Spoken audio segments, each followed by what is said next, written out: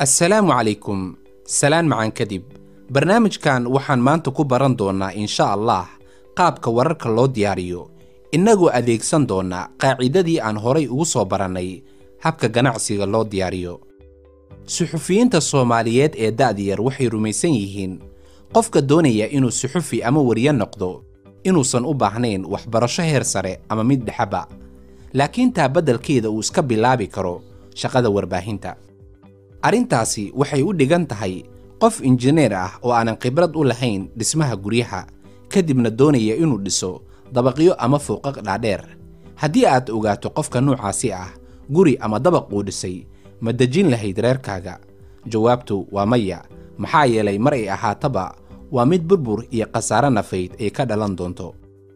Sidaas sidoo kale waxaa taa la mid ah haddii aad ogaato diyaaradda aad raacayso qofka duuliyaha ama baylotka ka ah uusan weligii qaadan wax tababar ah oo ku saabsan sida diyaaradaha loo duuliyo.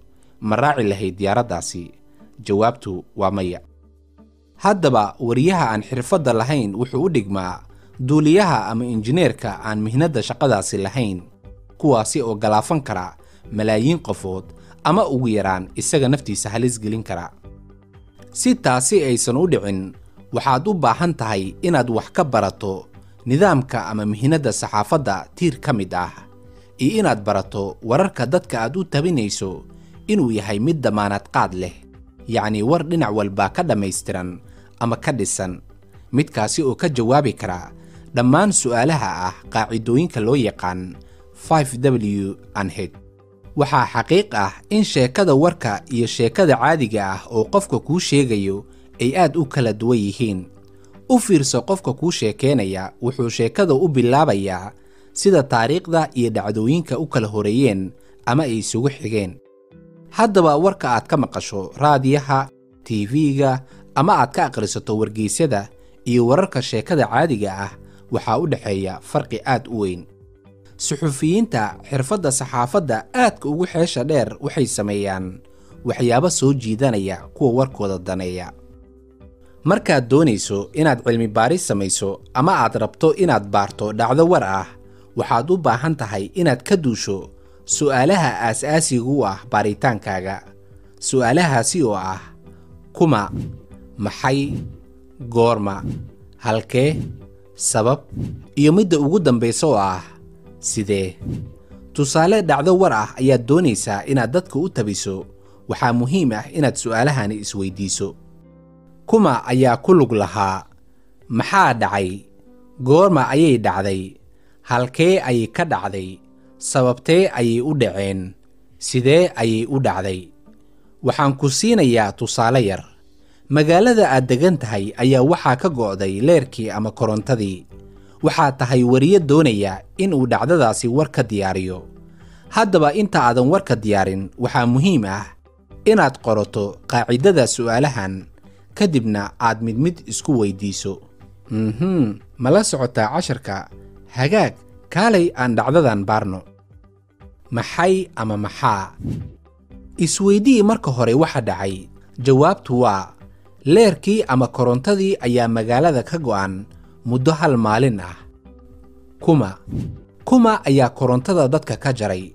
Ma garanayno laakiin si aan su'aashani u xalinno waxaan u rogaynaa dhanka kale kuma ayay saamaynaysaa koronto la'aantani jawaabtu waa isbitaallada dukaamada waaweyn warshadaha nidaamka isku socodka gawaarida iyo wax la mid ah. Haddii aad og tahay cidda samaysa falkan ama mar kasta samaysa waad magacaabi kartaa adiga oo hubsanaya waxa sababay dhibkan isla markaana waa inaad ka fogaataa waxaa naftaada dhib ugu imaan kara haddii aad sheegto. Mhm waad fahantay ayaan filayaa halkan. Iska hubso. Goorma. Goorma ayay dhacdadani dhacday. Jawaabtu waa hadda ama maanta. Muhiimadda waa inaad xustaa taariikhda dhacdadan ay dhacday iyo wakhtiga ay dhacday. Halkee? Halkee ayay dhacdadani ka dhacday? Waa inaad sheegtaa waddanka ama magaalada ay ka dhacday?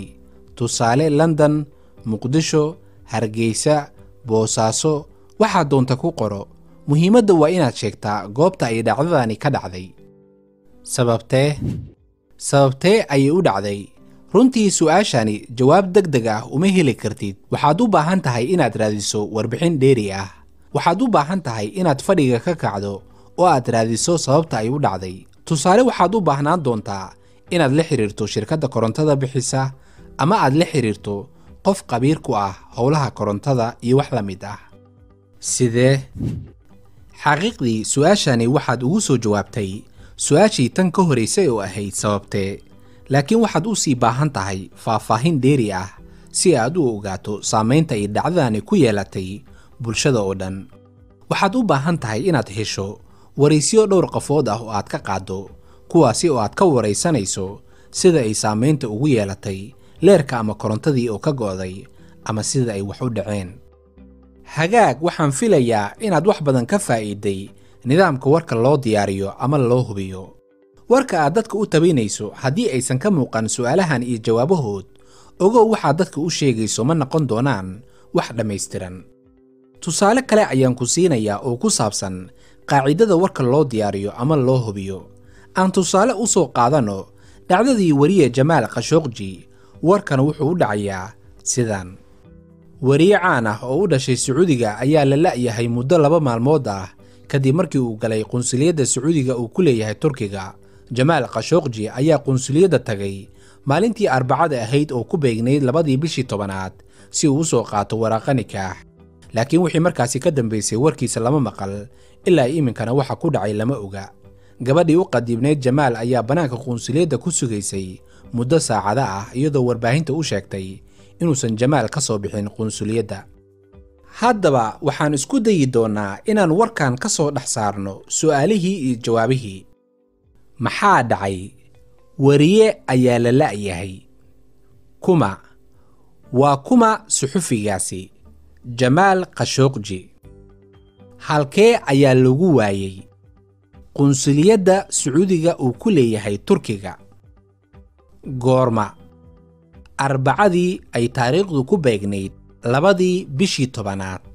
Sababtee sababtee loo la'yahay ilaa iyo iminka lama oga sababta maqnaashiyihiisa haddaba ogow mar walibaa su'aashani waxay u baahan tahay. Baaritaan iyo dabagal la sameeyo waana sababta keentay in la ogaado dilka jamaal khashooqji sida loo dilay. Su'aasha ah sababtee waa midda bannaanka keenaysa xaqiiqda. Sidee jawaabtani ah sidee ayay wax u dhaceen? Waxaad ka heli kartaa qofkii goobjoogaha ka ahaa dhacdadani waana gabadha uu la socday jamaal khashooqji mhm. Waxaan filayaa insha allah inaad wax badan ka fahantay sida wararka loo diyaariyo ama loo qoro.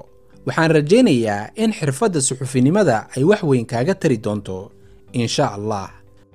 Ugu dambayntii isku day sheekadan caadiga ah inaad ka dhigto war adiga oo laba sadar ku soo koobaya welibana qaacidadii su'aalaha iyo jawaabaha ka soo saaraya. Waxay ahayd maalin deggan. Xarunta shidaalka ee shirkadda tawakal waxaa albaabada u sii laabayay laba ka mid ahaa shaqaalihii goobtaas ka shaqaynayay.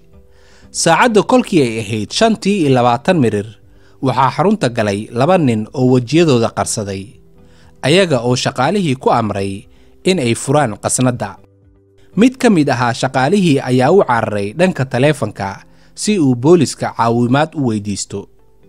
Shaqaalihii kale ee shirkadda wuxuu isku dayey inuu diido dalabkii burcaddii laakiin aaqarkii wuxuu u furay qasnadda kadib markii ay burcaddii la soo baxeen hub